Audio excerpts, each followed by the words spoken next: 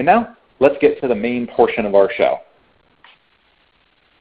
We'd originally scheduled Justin Harris, whose recent Pluralsight course, Fundamentals of Microsoft Messaging, is designed to help newcomers to the IT ops field understand what Microsoft messaging looks like and how it works. Sadly, Justin had a last-minute scheduling conflict, but I still wanted to talk about Exchange Server and Microsoft messaging. So I've invited Pluralsight author Jason Helmick, who's taught more than a few Exchange classes in his life, to join us. Jason, welcome to the show. Hey, Don. Great to be with you. So I guess the big question on everyone's mind these days, at least on mine, is how much longer can I be an Exchange administrator before there is no such thing? On one hand, we've got well, Exchange 2016. Well, I mean, we've got Exchange 2016 coming out, so I know you've got a minute, but it also seems like this might be the last on-prem release for Exchange. What do you think the future holds for a messaging administrator? You know, that's it's actually a great question, and I'm sure anybody who's who's an Exchange administrator or thinking about going down that route has already started hearing, probably for the last couple of years, that that job isn't going to exist. And with uh, the upcoming release of Exchange 2016, it, it really you can take a look at it, and Microsoft is really speaking volumes with that release. There's no wow features coming with 2016. In fact, if you take a look at the preview right now, and we're just right around the corner from the release of this, it looks just like Exchange 2013, which oddly enough looks just like Exchange Online in Office 365. Now, where are the investments in Exchange 2016 and, for that matter, updates to 2013 coming from?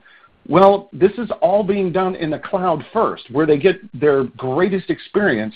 When you start looking at things like high availability and database availability groups, Microsoft has more experience and their engineers have more experience than anybody else on the face of the planet doing just that. And so they're taking all that experience that they get from the cloud and they're making some updates to the on-premises version. Well, what does this mean for an Exchange engineer? Well, it means that it really helps to understand what's going on in the cloud because that's where it's going to happen first.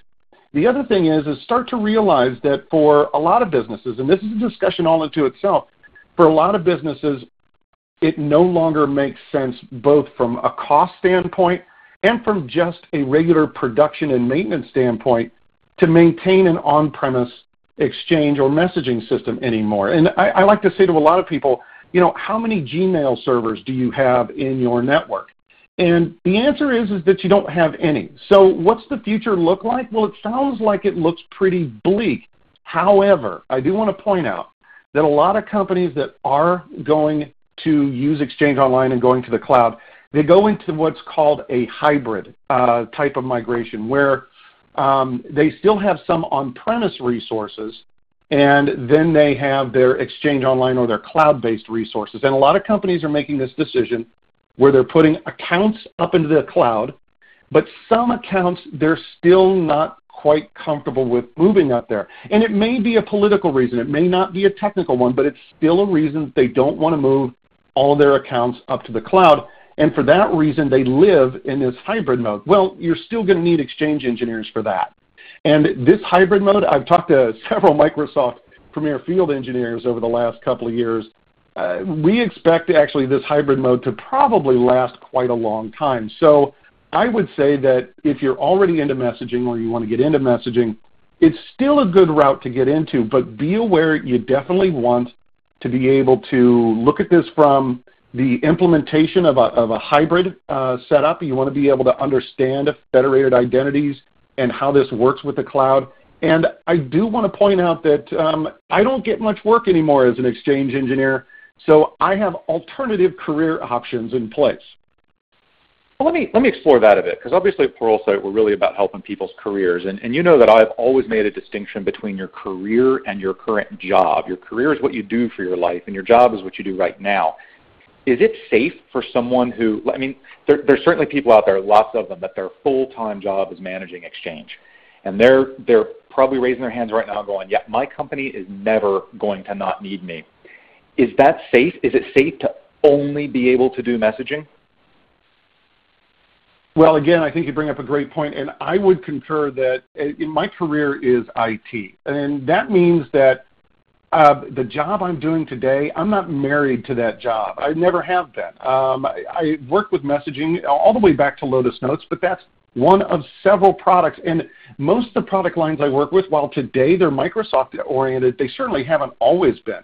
My job as an IT person is to be able to address the business needs uh, that the business has at that time to reach its mission. And so I have a lot of skills. And I think what's most important is to always keep learning additional skills. And in this case with Exchange, it, it also weatherproofs you um, in the sense that let's say that at your particular company, the mood suddenly does change with uh, the C exec level, and they do want to start going down the cloud-based route. Well, saying that the company's never going to do it, well, suddenly you just had the rug pulled out. If you already have capabilities and, and other way, things that you can do, you're already ahead of the game. You know, one of the best things that I think uh, both you and I probably agree with on is that the best part about learning Exchange is learning how to automate Exchange. Well, once you have that PowerShell skill, now you can go across to several different product lines and automate several different product lines. And it really is the best thing for you to do is to learn, learn, learn, learn as much as you possibly can about all the products that your business needs to be successful. So staying on messaging but switching products slightly, I want to talk about Microsoft's real-time communications platform. Uh, it's been through a lot of names. Exchange UC, Office Communicator, Lync, and now Skype for Business. What do you see in the future for this thing? Should it be an education priority for IT ops professionals, or will, will this kind of be a specialty subject? and here's where I'm probably going to get into a little bit of trouble. When, when I personally am looking at things that uh, I need to make sure that my skill sets are up on, I have to admit, uh, as far as Lync Online and Lync has been concerned. I've been a little bit slow on it. And the reason really is, is implementations. Companies that are implementing it, a lot of them already have other products that they've been using. And so while Lync started to gain some strength, that didn't gain as much as what a lot of people expected. Lync Online still misses a couple of primary pieces to it. Now they've, they've rebranded it, right, with Skype and, and Skype for Business. And when you do start to look at Office 365, all of a sudden, from my perspective, Skype for Business now makes a lot more sense why you want to start to use it. There are not only a lot of, you know, lists and lists of features, but just being able to be in one application, not to have to switch to another application, know where somebody is and be able to communicate them in whatever current form they wish to be communicated with Skype for Business helps a lot with that information. And you know, as I work more and more with Office 365, some of the primary aspects are Exchange Online and you use SharePoint, And you combine those together, you do e-discovery across them. Well, now we can do e-discovery. We've been able to do this in O365 for some time, where we can do e-discovery across all the products, which includes all those conversations going on in Skype uh, for Business. So I think that as, as people start to take a look at the benefits in their way that their people work, they're going to see that Skype for Business makes much more sense, even if they have some of those other third-party products in place for like phones. So we're going to be talking next to a Pluralsight author who's recently been uh, working through a lot of security courses, but from a messaging perspective, what do you think is one of the bigger overlooked security aspects of an organization's messaging systems? Like, like briefly, anything people should be rushing to double check right now? yeah, and this is one of my little pet peeves, and it's something that um, usually I have people say, you know, my business will never run anything through the cloud, and my first response is, is um, do, do any of your users ever use Gmail? If so, your corporate information, confidential information, has already been going through the cloud for decades. If you were to work with Exchange, and this is both on-premise and Exchange Online, starting with Exchange 2013 especially, and of course with Exchange 2016, you have much better control over who can send what documents, when they're allowed to open up those documents. If they're off-site, they may not even see that there's an attachment that they can open. You have much more security control over your corporate confidential information. And with Exchange Online and Exchange on premises, you now have many more compliance options than you've ever had before. So if your company has to meet a certain federal regulation, Exchange can help ensure that that occurs. And so think about it data that only people you want authorized to be able to see it, and being able to maintain compliancy, you can't do that with Gmail. And so when it comes to security, that right there is a big change to where your corporate confidential uh, data is ending up. Well, good. Good information. And thanks for joining us. So I, I, know you've been working on some SSCP training for Pluralsight, which will be coming out probably early next year, late this year. So feel free to hang around on the call as we introduce our next author. Uh, up next is Pluralsight author Chris Rees.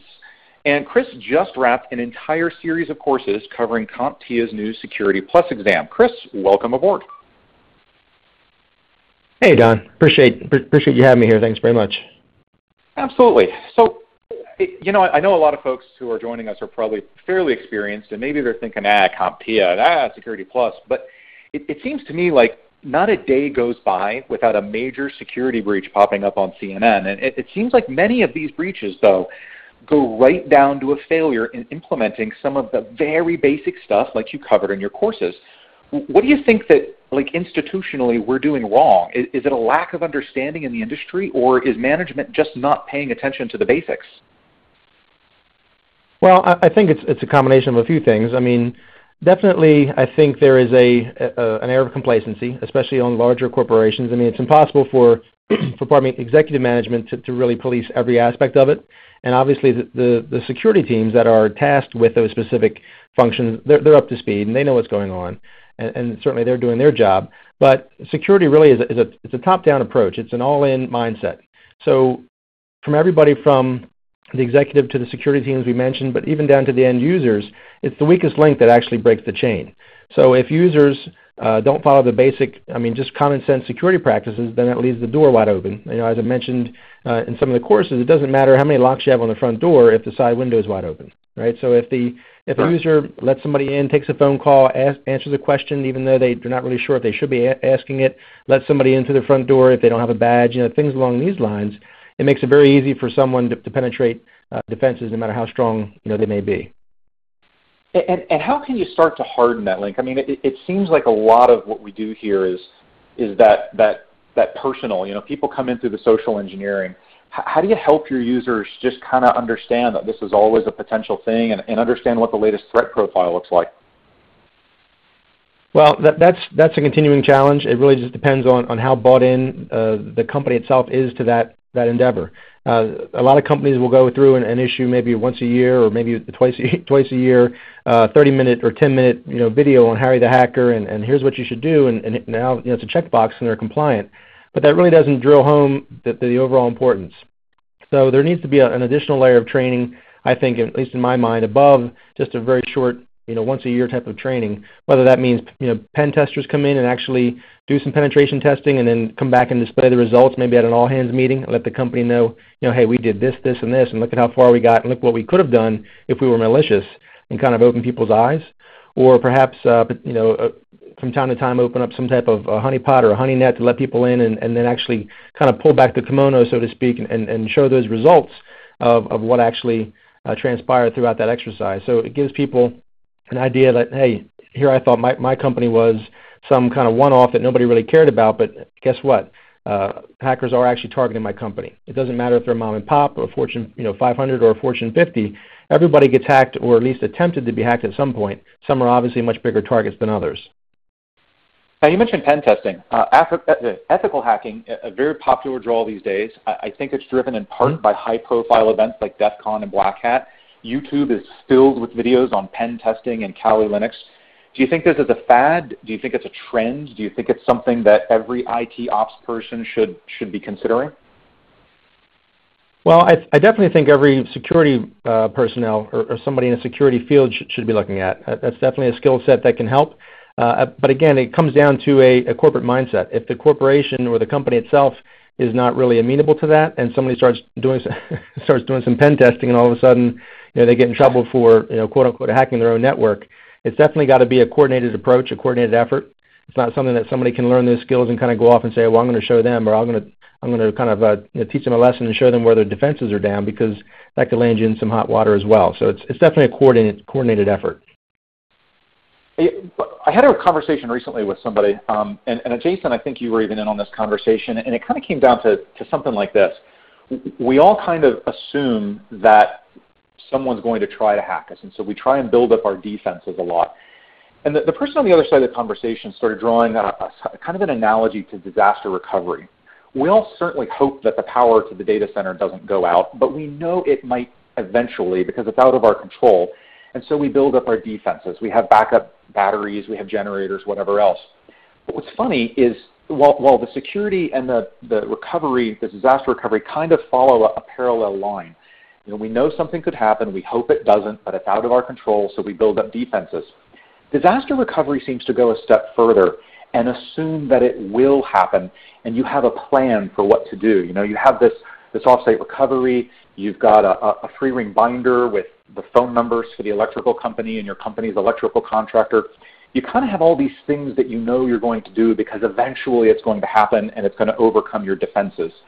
Why don't we do the same thing with security? Should we have a plan in place for the inevitable, or is it just not inevitable? Well, I, uh, that's a really good point. I, I, think a lot of companies. Well, let me back up one. To your point, some companies do that, uh, and that's that's great. They do their tabletop exercises and they run through their their kind of what ifs and, and their different types of scenarios, and they they have uh, you know, protocols to address those things, and sometimes they do it maybe you know, bi-yearly, once a year.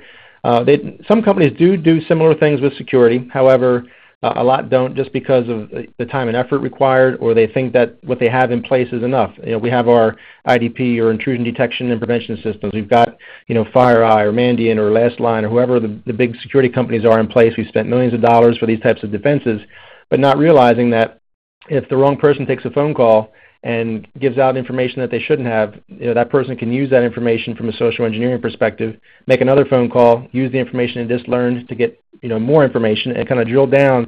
And a lot of those technical controls are great. Obviously, they can they can get uh, probably 90% of the people trying to hack in through that specific attack vector, but it doesn't really address the social engineering and just the personnel issue, the insider threat.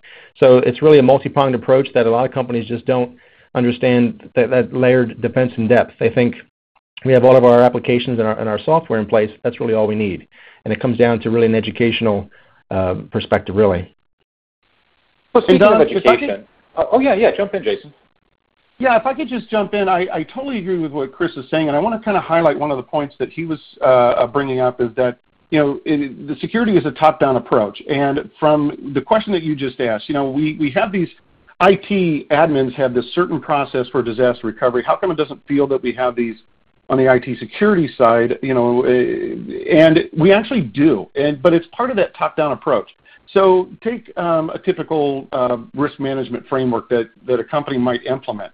First of all, that's not visible enough for most of the stakeholders and the business leaders. They don't grasp the need. Now, they're seeing all kinds of stuff on CNN now, which hopefully they're starting to grasp it more, but they need a clear plan of action. So a, a risk management uh, framework that allows um, the IT and IT security to be able to, well, do the basic things they're supposed to be doing, identifying what potential vulnerabilities and risks are out there to the assets of the company, and there's formalized procedures for this. Then identifying your mitigation procedures, just like we would do with disaster recovery, and then we need to also have, with those mitigation procedures, a way of monitoring to make sure that those controls are effective and that they're doing what they're supposed to do. But we always still want to have an incident um, uh, type of reporting system where we can make sure that if something does go wrong, just like with disaster recovery, that we have the recovery capabilities already in place.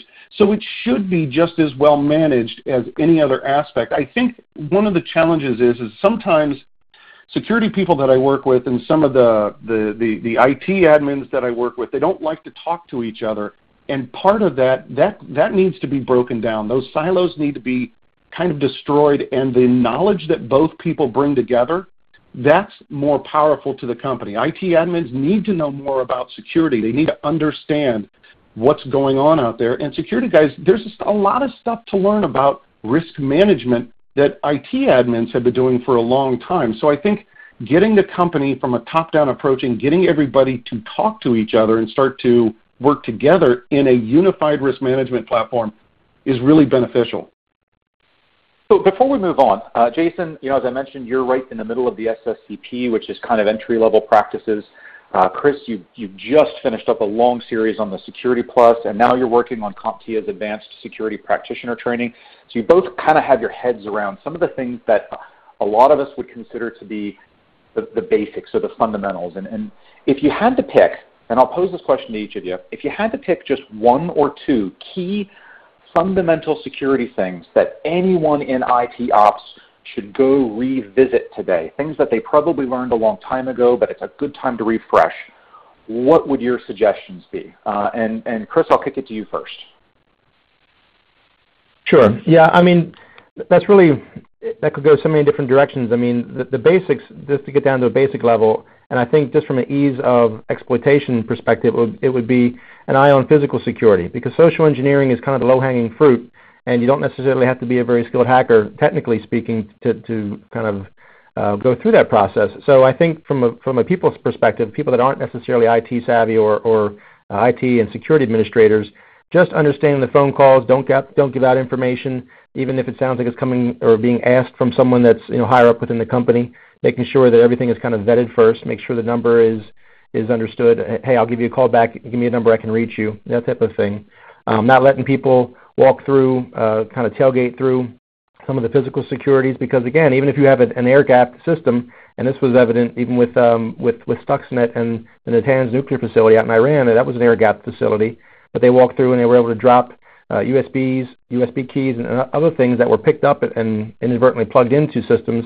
And then from there, it just kind of went out and, and spidered through the network and was able to to map everything and send the information back. So it's a lot of times it's the simple uh, things, the simple breaches that, that really net the most return. So a lot of times it's not really the, the millions of dollars that you're spending on the perimeters. It's somebody can walk right through the front door and, and affect some type of breach.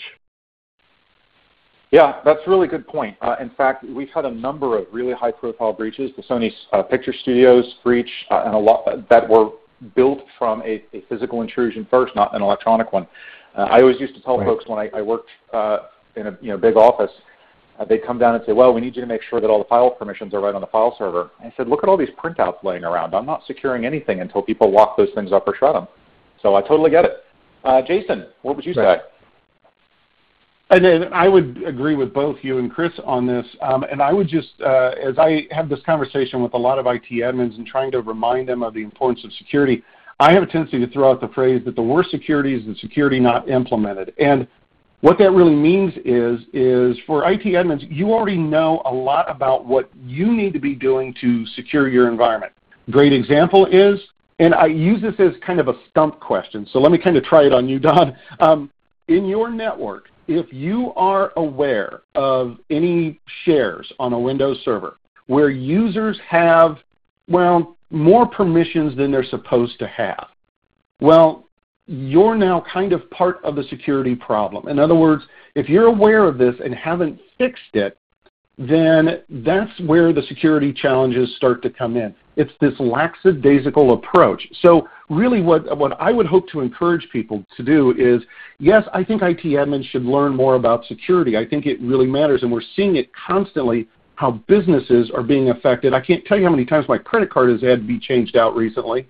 Um, but at the same time, we already know a lot of basics that we're not actually fulfilling that we need to go back to and make sure that we're doing. We've got to make sure that we've applied the permissions correctly. And I know it's a tough job, and that's one of the reasons you want to get into automation to make your life easier on this.